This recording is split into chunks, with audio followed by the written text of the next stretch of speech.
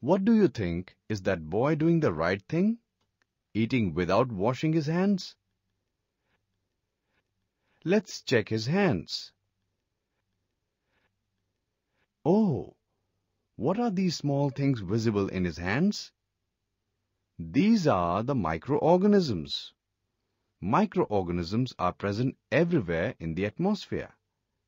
Some of them are helpful, but some are harmful also.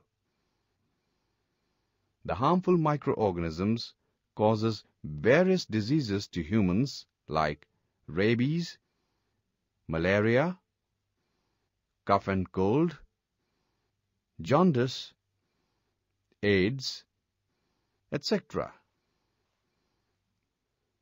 These disease-causing microorganisms enter our body through different means and target different organs. If they enter via nose, then they are likely to go into the lungs and cause respiratory diseases such as tuberculosis.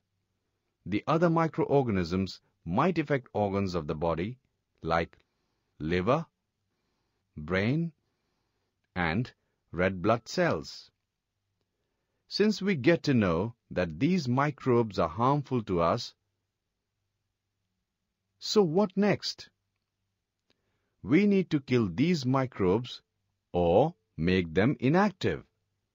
Different methods are adopted to do so. Vaccinations, injections, drugs are some of the treatments. This chapter mainly focuses on the human diseases, their causes and methods of prevention. After going through this chapter, you will be able to know about diseases and their causes, infectious and non-infectious diseases, modes of transmission of diseases, treatment and prevention of diseases. With this chapter, let's take a tour of our body and know about its resisting power and the types of disease that can affect it.